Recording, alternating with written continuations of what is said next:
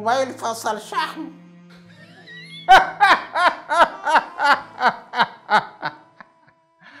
مشكلتك انت وامثالك من الهلافيت والحشرات. انكم بيجوا عليكم لحظة تتصوروا انكم حاجة. الحقد والغل اللي جواكم هو اللي بيخليكم تناطحوا أسيادكم وتحاولوا ترجعوا عجلة التاريخ لورا. بتخبطوا راسكم مش في الحيط لا. بتخبطوا راسكم في قطر. قطر سريع بيفرم كل يتحداه جرابيع نسانيس هموش أنتوا مجرد هموش بيحاول انه انه يحارب أفيال. ما عادش فارق معايا حاجة يا أبو داوود. الموت بقى زي الحياة. أنا خلاص أعتبر ميت بعد اللي سمعته هنا. أنا كنت جاي هنا آكل لقمة عيش. كنت بطبل لديك البرابر والجيش وكنت جاي أكمل تطبيل وأعيش. بس يمكن عيبي عيب إني كنت بسأل. وأنا بسأل ليه؟ لأني بسمع حاجات يزبهلي ليها العقل. يا أبو داوود مش ممكن تركب في الدماغ. يا أخينا!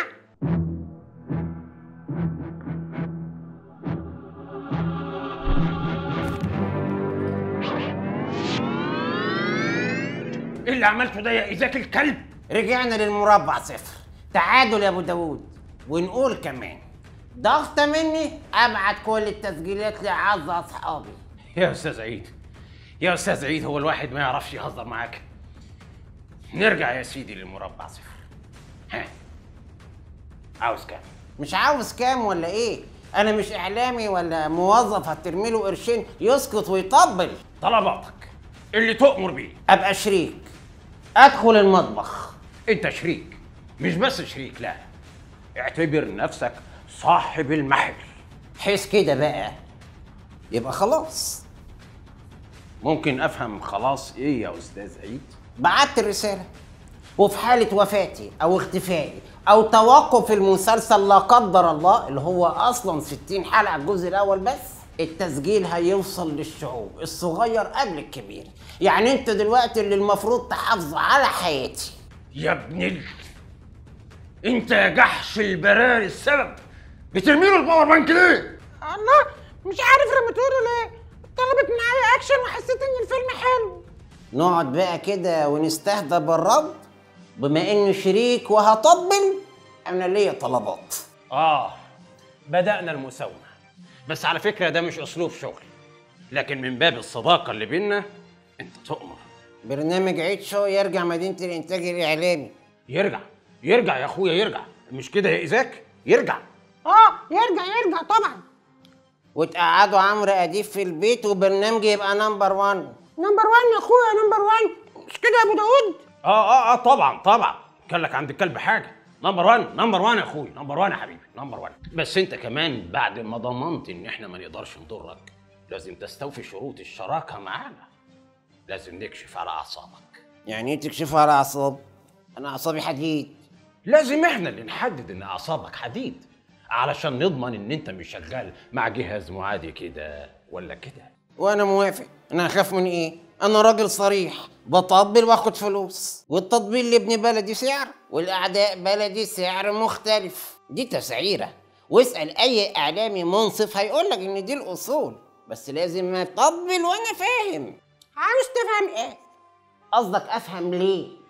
أفهم ليه إبادة وتدمير التاريخ والاثار الإسلامية؟ وليه الحقد والغل ده في تدمير الآثار؟ ده أنتوا شوهتوا أرض الحجاز. عايز أفهم التاريخ ده من طقطق. السلام عليكم. أيوه يعني عاوز تستمتع بالحقائق. على كده يا أبو داوود أنت هتوري له أرشيف المخابرات البريطانية وتوري له الوثائق السرية. أيوه أنا مش عايز هبد. متعني بالوثائق. ما تمشي تطلع بره يا إيزاك. خلاص خلاص هقعد ومش هتكلم هقفل بقي بس يا عم عيد ما تخلوش كروتك خليه يوريك المصادر الأصلية من الوثائق البريطانية. افلا اسمها هاند بوك أوف حجاز أنا عايز من بوك أوف ده اللي أوف أوف اللي بيقول عليها إزيك دي. انت احكي يا دودو وأنا أقلب بالريموت. بس استنى أقوم أجيب لبن وفشار اقعد ما اللبن والفشار اللي معايا على قد يا عم. اخرس. هو أنا كنت قادر على جبلتك وتناحتك؟ لما الرب يبتليني ببلوى تاني ومسيحة. Handbook of Hejaz وثائق أرشيف المخابرات البريطانية. اضطرت بريطانيا للكشف عنها تحت ضغط ملاحقات قضائية. البداية كانت قبل الحرب العالمية الأولى. اللي كتير من الدول العربية كانت تحت الاحتلال البريطاني والفرنسي اللي كانوا بيحاربوا ضد إمبراطوريتكم الإسلامية. كانت القوة العظمى وقتها إنجلترا وفرنسا وروسيا والإمبراطورية العثمانية. وكانت شبه الجزيرة العربية ضمن الإمبراطورية العثمانية. كل دي كانت إمبراطوريتنا. ده إحنا كنا أكبر من الولايات المتحدة دلوقتي. كان أمير الحجاز اللي من ضمنها مكة والمدينة هو الشريف حسين بن علي.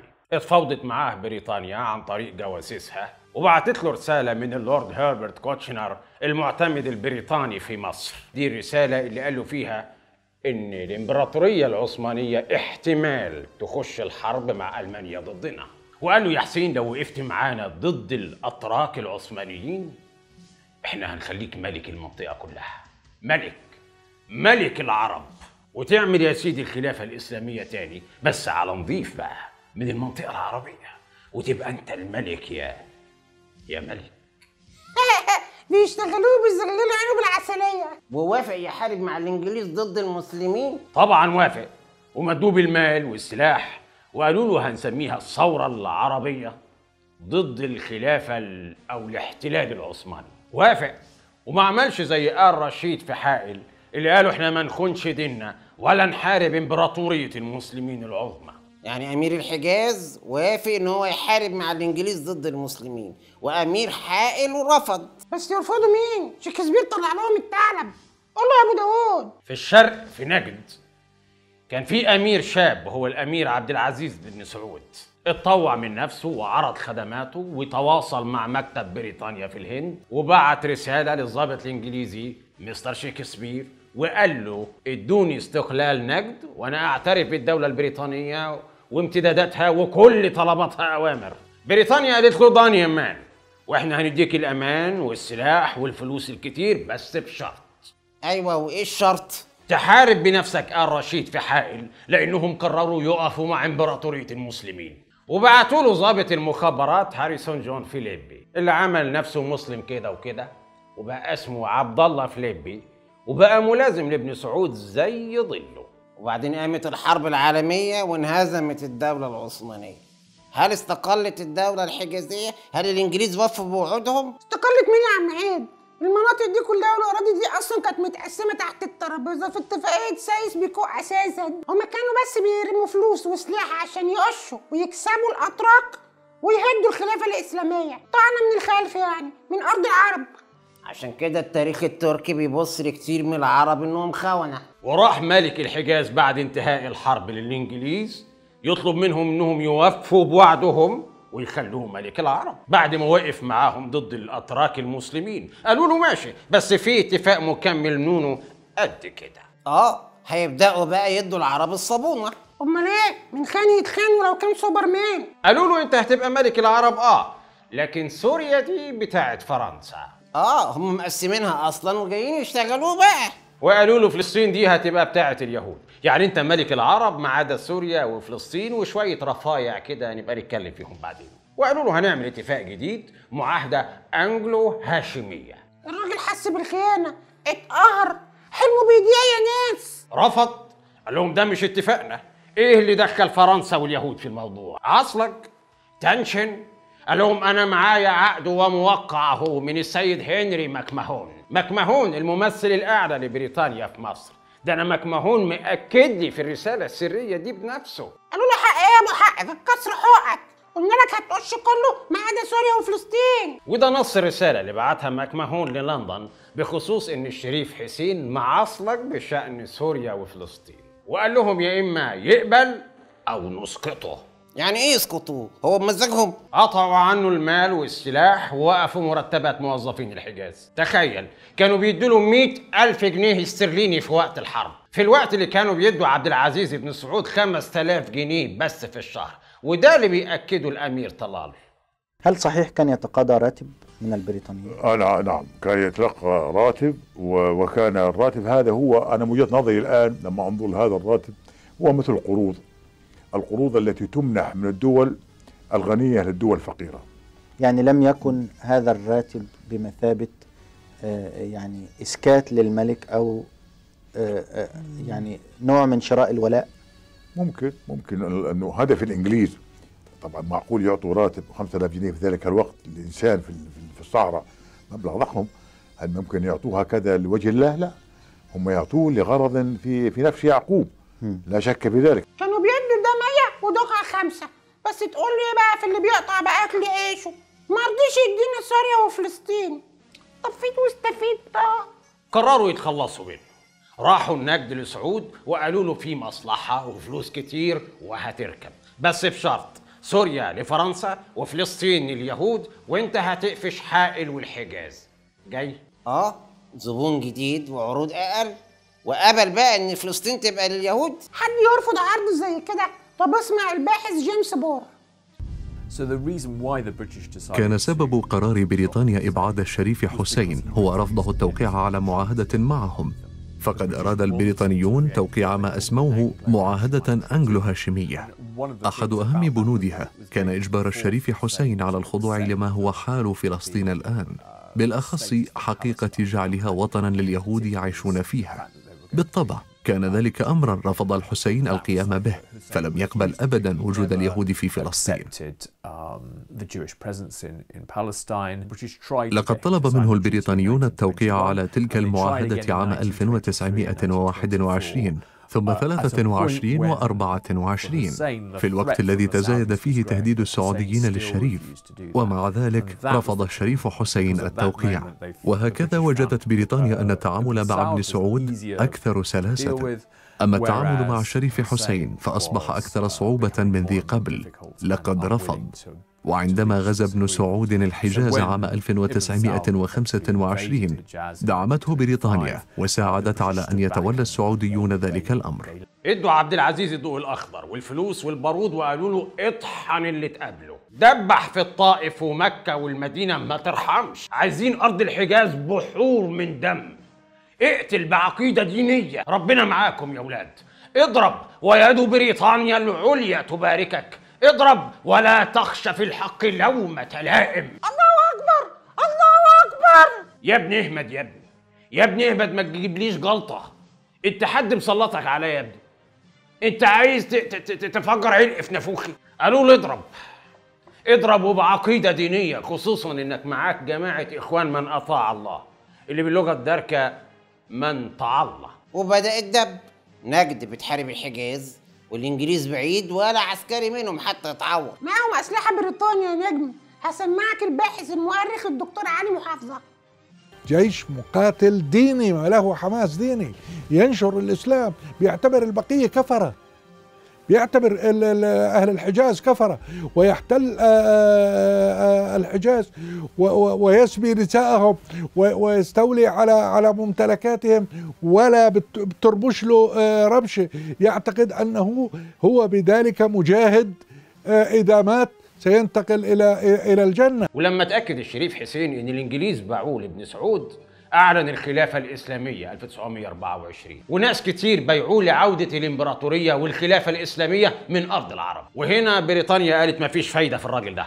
قش يا عبد العزيز. لسه عايش على وعد العسلية. ودخلوا إخوان من أطاع الله واجتاحوا الطائف وحصروا مكة والمدينة واجتاحوها. ولما دخلوا جماعة من تعالى المكة والمدينة عملوا في الأثر النبوي اللي شفته في الحلقة اللي فاتت. نسفوا 95% من الأثر النبوي في مكة والمدينة. وقالوا إن الحجازيين مع الشريف حسين كانوا كفار لأنهم محتفظين بالآثار دي والآثار دي والعياذ بالرب بتخرج الناس من الملة. عشان كده الناس كانت شايفة الأثر والتاريخ الإسلامي بيتدمر وساكتين قدام قوة الفلوس والسلاح والتأثير البريطاني. لكن أهل مكة والمدينة كانوا بيغلوا. على الملك بتاعهم اللي اتهزم وعلى الآثار الإسلامية اللي بتتدمر. لكن عبد العزيز طمنهم وبعت لهم رسالة. ما تقراها له أبو داوود. ليس لنا قصد في زخاريف الحسين وأتباعه لا في ملك ولا في خلافة ومقصدنا أن تكون كلمة الله هي العليا. والله على ما أقول شهيد. أيوة يعني قال لهم والله والله والله لا في نية ولا إرادة لحكم الحجاز. وهتشوفوا قال لهم إنه مش طمعان في حكم الحجاز. خصوصا لما الشعوب والدول الإسلامية بدأت تقلق لما شافت اللي بيحصل في آثار النبوة وبيوت الصحابة وخرجت الصحف بقى تقول إن قوات عبد العزيز بتدمر الأثر الإسلامي. أغلب الدول العربية والإسلامية بعتت لعبد العزيز يتركوه إنه ما يهدمش الآثار النبوية في مكة والمدينة وإنهم بالشكل ده بدأوا يقلقوا على مصير الحرمين المكي والمدني فكتب لهم الكلام ده.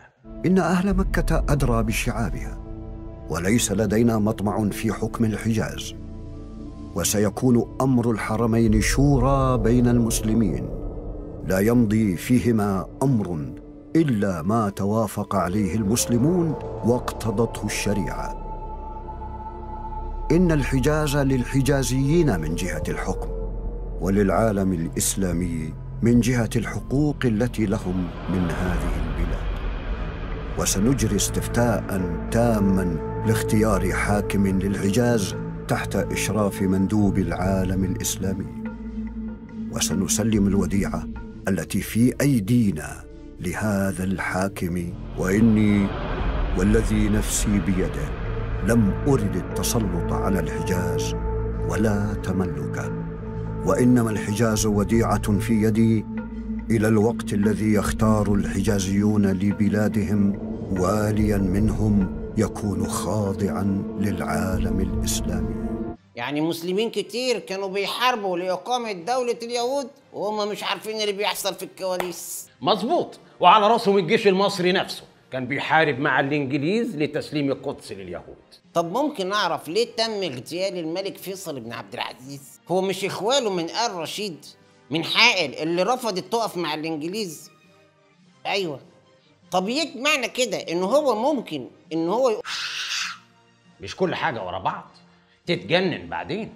وبعدين يلا يا حاج بقى. هو انت مش كنت عايز تروح عمرة الحلقة اللي فاتت؟ حجزت لك على فكرة. لا لا لا لا لسه هأجل شوية موضوع العمرة ده. عشان كورونا. حاليا لا عمرة ولا لندن. هأجل شوية لحد ما أعرف رأسي من رجلي. قول لي بس حياة أبوك هل الملك فيصل فعلا قطع البترول عن أمريكا أيام حرب 73 ولا دي كمان فيها لعب؟ وهل ممكن نقدر ن- بعدين بعدين. هسيبك ترتاح دلوقتي شوية واعمل ترتيبات علشان نكشف على أعصابك. هحطك على جهاز كشف الأعصاب خلال أيام. سلام. وأنا هروح أجيب كمالة. لب وفشار أوعى تنام يا عم عيد. أجيلك. أعصابي يا ناس. أنا مش مصدق اللي بسمعه بوداني. هو التاريخ مغمق كده ليه؟ لا أنا لازم أأمن نفسي. لازم أأمن نفسي وأبعت رسالة لأعز أصحابي. ألو؟ أيوة مينا. مينا سامعني أبو شكلك؟ اسمعني يا مينا كويس. أنا بسجلك الفيديو ده عشان أنت صاحبي وصديق. حتة مني. المونتير بتاعي. شوف الرسائل اللي بعتها لك voice وافهمها كويس. خلي النسخة ليك واعمل نسخة تانية على hard كويس وخبيها عند مخلوق. مفيش حد يتوقعه يا مينا. خبيها عند جوز أختي في نبروه. الحاج نبراوي يعوف عبد الشافي نبراوي وقول له يخبي ال hard ده برضه عند حد أمين. ركز يا مينا إيديك الموضوع خطير فيه حياة أو موت. ركز يا مينا عبو شكلك. تسلم تسلم. حبيبي يا مينا حبيبي.